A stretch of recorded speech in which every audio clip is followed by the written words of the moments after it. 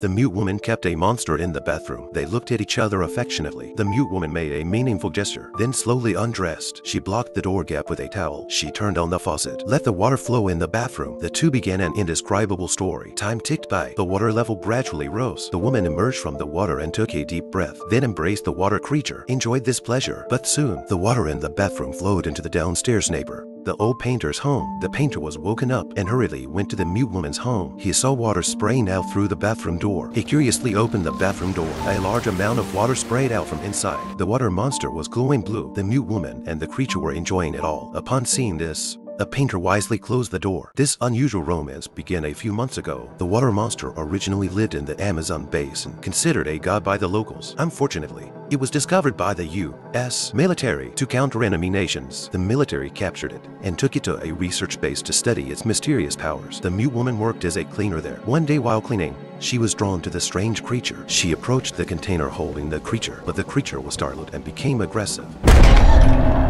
Project doctor immediately chased away intruders. The mute woman didn't think much of it, as there were many strange things there. The mute woman was born mute, with three natural scars on her neck. Her daily life was simple and regular. Her social circle was quite small. Zelda was the only friend who would interact with her. That day, the laboratory chief was suddenly bitten by the water monster. The mute woman and Zelda were ordered to clean the lab. Blood was everywhere on the ground, even severed fingers. The mute woman heard the creature's movements and approached its container out of curiosity. The creature had obvious wounds from the chief. As the mute woman tried to observe more closely, the lab doctor stopped them. The mute woman's curiosity kept her thinking about the creature. One day, during cleaning, she revisited the lab, but the water monster has been transferred to the pool. The mute woman took out a hard-boiled egg and gently tapped the shell. The sound of the egg's shell attracted the monster's attention. He slowly poked his head out, then slowly swam to the edge of the pool and slowly stood up. It's the first time she's ever seen a water monster in real life. A half-human, half-fish appearance, but the creature Having just been hurt, still feared humans. The mute woman placed the egg by the pool and made a gesture. The creature took the egg and went underwater.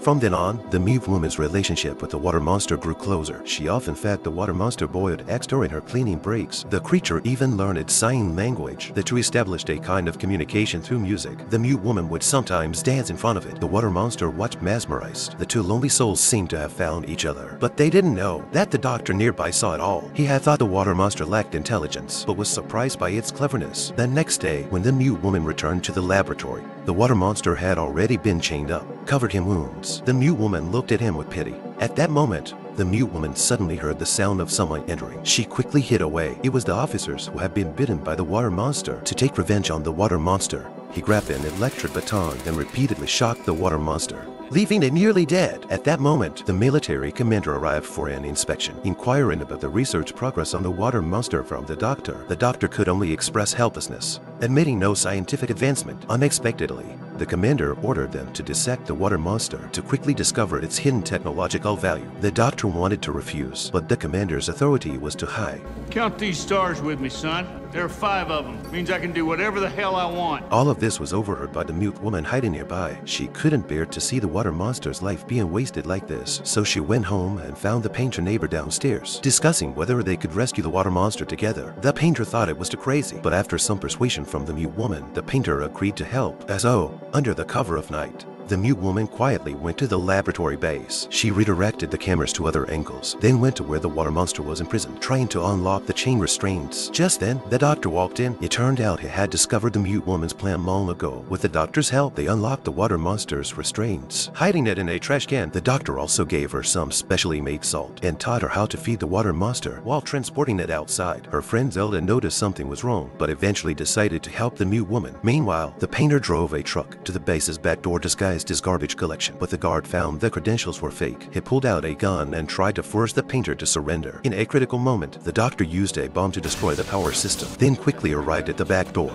and used a poison needle to deal with the guard. Afterward, they rendezvoused with the mute woman. Seeing the water monster shocked the painter. Finally, they all transported the water monster into the truck and quickly fled the scene. By the time the commanding officers arrived, it was too late. The mute woman and the painter had already placed the water monster in the bathtub at home. Seeing the water monster on the brink of death, the mute woman kept sprinkling salt into the water until the water monster recovered its breath. To ensure the water monster could survive, the mute woman decided to return it to the sea where it belonged. So she went to the dock to research the best time and place for release. Considering that the water level would rise from January to October, it was the best opportunity to release the water water monster. On the base's side, the commanding officers received severe criticism from his superiors for losing the water monster, but he soon discovered the bomb that caused the base's power outage. He boldly speculated it was the work of a professional team, possibly involving spies, so he began to investigate all personnel at the base one by one. The mute woman and Zelda, due to their humble status, were not suspected. The mute woman took special care of the water monster every day, even teaching it through pictures and words. The painter sometimes came to chat with it, but on this day, while the painter was asleep,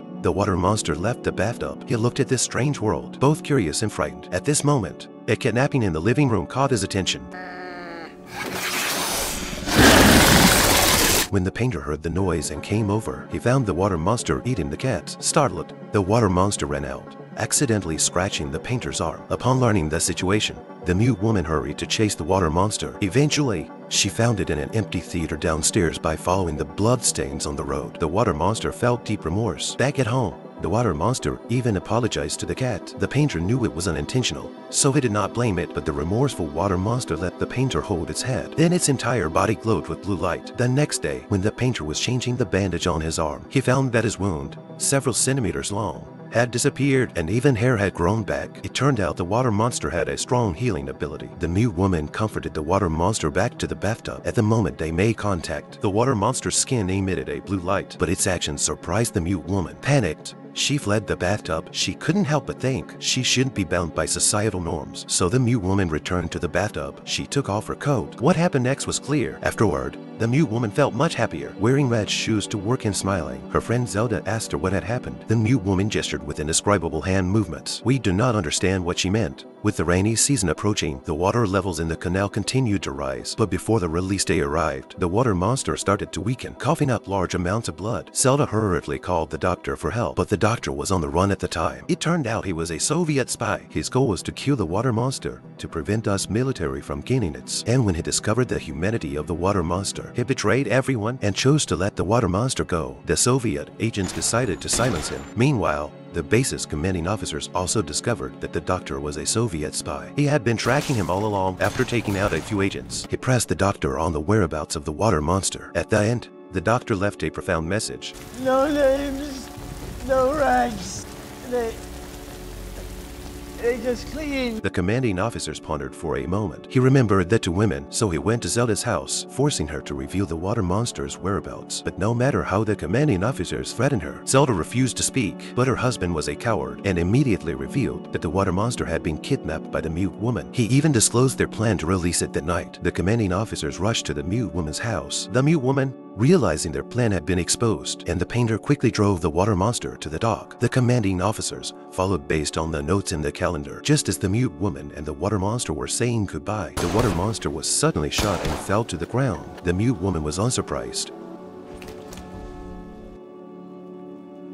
Seeing the plan about to fail, the painter suddenly attacked the commanding officers from behind. Just then, the water monster washed by the rain, regained its strength, and repaired its wounds with its powerful healing ability, and the commanding officer's fate was easily foreseeable.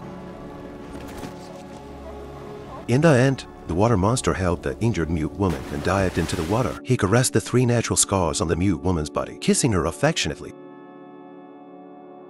At that moment, a miraculous scene occurred. The three scars on the mute woman's body actually evolved into gills, and she also acquired the ability to breathe underwater. That's how the two of them lived forever in the sea.